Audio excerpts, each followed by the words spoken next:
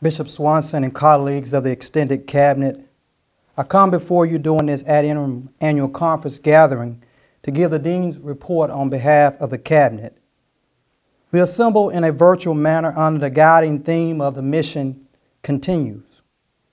We wholeheartedly embrace the process for carrying out the mission of the church by proclaiming the gospel, seeking, welcoming, and gathering persons into the body of Christ, by leading persons to commit their lives to God through baptism by water and the Spirit and profession of faith in Jesus Christ, by nurturing persons in Christian living, and by sending persons into the world to live lovely and justly as servants of Christ.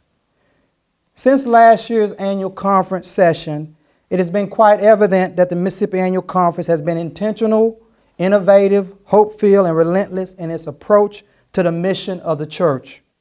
Our conference has remained faithful and focused, operating out of an abundance for caution for all as we navigate through the coronavirus.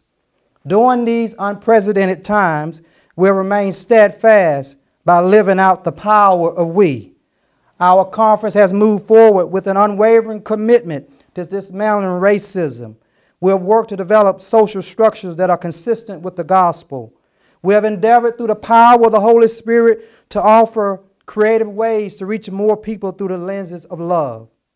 As we have accepted Jesus' mandate to love God and to love our neighbor and to make disciples of all people, we believe that extension ministries of the church and local churches provide the most significant arena through which disciple making occurs.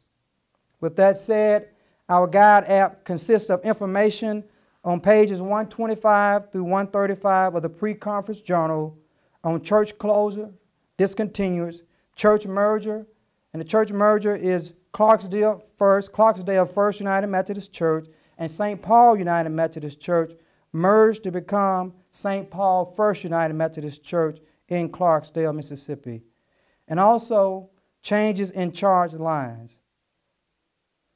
I request that each of you now give your undivided attention to the name of churches along with pictures of church structures for church closure discontinuation. Isola United Methodist Church, Greenwood District.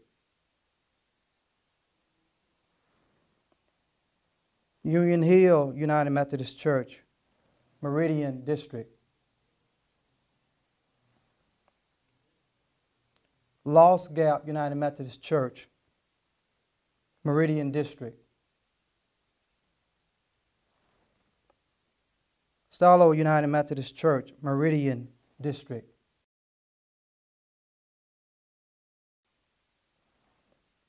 Wesley Chapel United Methodist Church, Meridian District.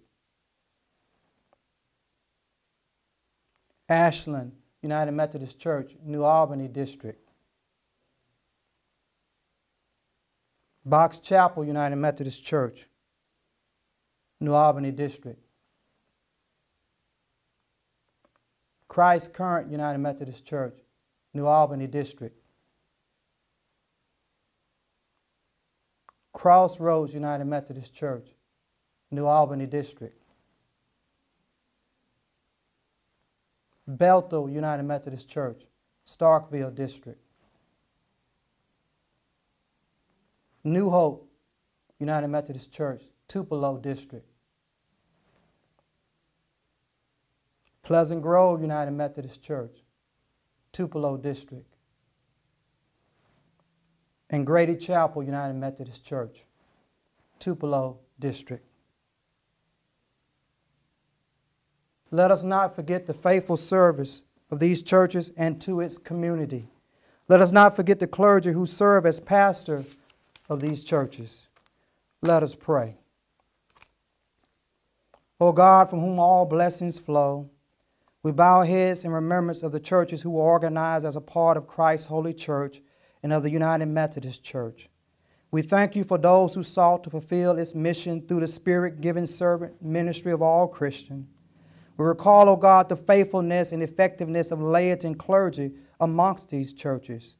We express our deepest appreciation as these churches were gifts for a season and how the many ways these churches serve the mission given to it by Jesus Christ and accomplish its purpose. Yet we still declare unashamedly that Christ's holy church is of God and will be preserved to the end of time for the conduct of worship and the due administration of God's word and sacrament, the maintenance of Christian fellowship and discipline, the edification of believers, and the conversion of the world. O God, empower the churches that yet remain in the Mississippi Annual Conference to be a part of Christ's ongoing church, and as members who scatter into other congregations, that they shall still be one with Christ, one with each other, and one in ministry to all the world, until Christ come and found a victory, and we feast at his heavenly banquet.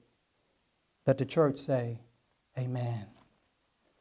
Bishop Swanson, this report is now properly before us for consideration of approval.